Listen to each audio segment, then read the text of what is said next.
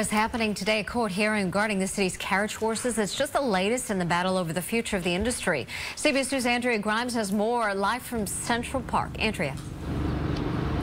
And Mary, horse carriage drivers will be lining up here behind me shortly to get their day started. They are fighting for their careers. Meantime, there is a hearing later this morning, as you mentioned. It has to do with records the city may have regarding horse carriage accidents and violations. Now, horse carriage opponents point to incidents like this one that happened here near Central Park last week. A carriage driver witness says the horse tripped when another carriage clipped his wheel.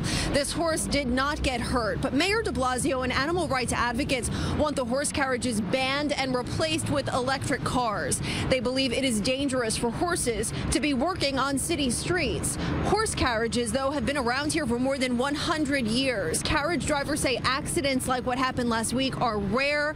They say the horses are well taken care of and the industry is well regulated. They're very worried not only about what will happen to the horses if this ban goes into effect, but what will happen to their jobs. We're in the business to stay in as horsemen in the carriage industry. And that's what we're fighting to preserve. We understand in a change like this, we have to be fair to the people who currently uh, have these businesses and do this work.